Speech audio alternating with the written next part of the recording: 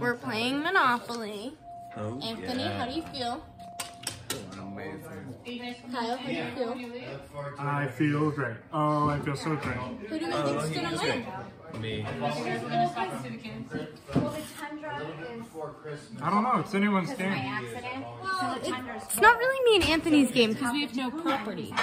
You really have no property? He has one, I have four, but you have six, and you have seven.